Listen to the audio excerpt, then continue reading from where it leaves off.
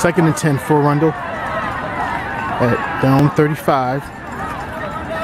We're at 8.25 in the third, fourth quarter of a 17-6 game in favor of uh, Old Mill. Here's Messenger. That's intercepted.